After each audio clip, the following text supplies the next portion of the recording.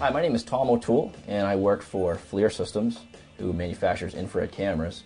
And today I'm with Fleming Lund of Infrared Diagnostics. And Fleming is a HERS rater, as well as a BPI certified energy auditor Yep. and a certified home inspector, correct? That's right. Well, today Fleming's going to take us around this home that has some energy efficiency issues and show us the latest tools and technologies that he uses to locate air leaks and missing insulation. Now, what kind of technology is he going to show us today?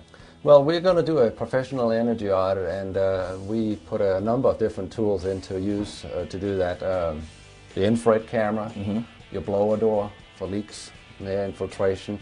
Moisture meters comes into it too. If we are looking at a spot and we think that it may be moisture instead of insulation issue, we confirm that with a moisture meter.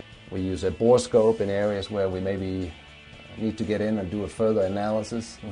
Um, and then we usually finish it off with a safety test using uh, gas leak detection on the heating uh, appliances, as well as uh, carbon monoxide uh, safety test. So this is more than just a standard visual Oh, inspection. Yeah. This is actually a very in-depth energy audit. And our goal is to, to get all the information put together in a report that the customer can really sit down and figure out which steps should I take To fix the problem. To fix the problem, and really to get forward and uh, get it done right. Great. Well, let's take a look around.